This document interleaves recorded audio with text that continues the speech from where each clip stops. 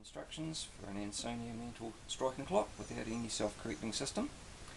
Uh, first thing we do, open up our case obviously, and wind the clock up.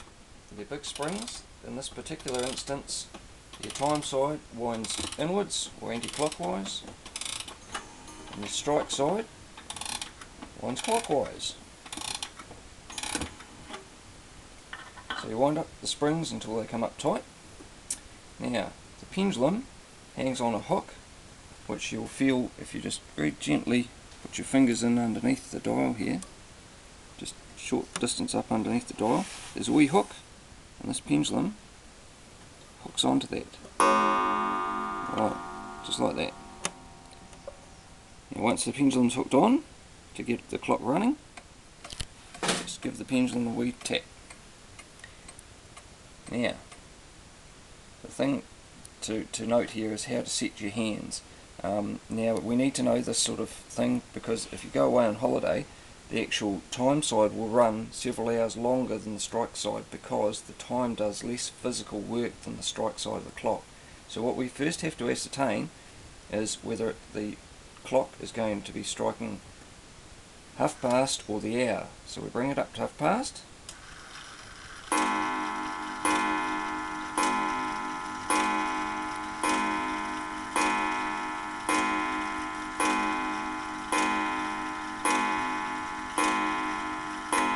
Okay, so, so actually the clock mechanism is telling us it's 12 o'clock. So the first thing we need to do is synchronize the half past strike. So we go through the hour to half past. So that's one, so it's now telling us it's half past. Then we go up to the hour.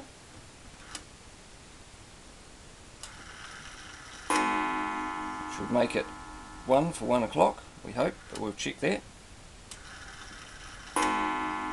be half past one.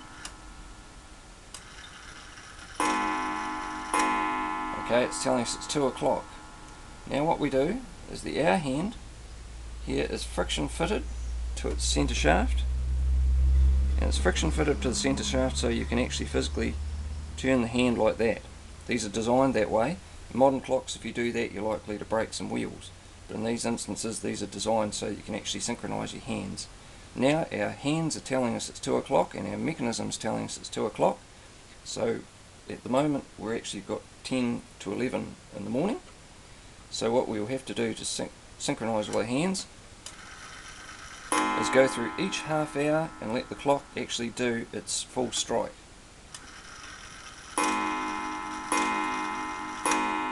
etc etc until you bring it up to time and once it's on time give your pendulum a wee push and it's away and laughing. Now with a clock like this you can turn your hands backwards between your five, your, or you can turn your hands backwards between essentially the 20 past, 25 past and, and backwards or conversely this area here. Never turn your hands backwards through the hour or the half hour. Uh, you'll start damaging levers. Okay. Any other problems, just call us, Timepieces NZ.